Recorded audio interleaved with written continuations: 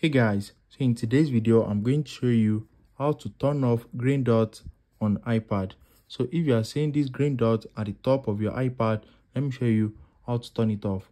So the reason for this is because one app or one website is using your camera. So anytime you are using your camera it is going to show the green dot. As you can see when i close my camera app it is no longer showing. So one thing the first thing you can do is just to close all the apps that you that you have in your background any app that you think is using your camera. So if it is a website just close the browser you are using for the website.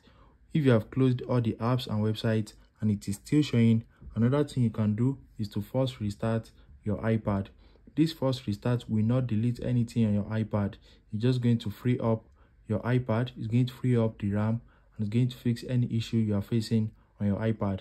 So let me show you how it is done click on the volume up button once click on the volume down button once and you need to long click on the power button till you see the apple logo. So volume up volume down and long click on the power button till you see the apple logo. Once you see the apple logo leave it and your ipad will restart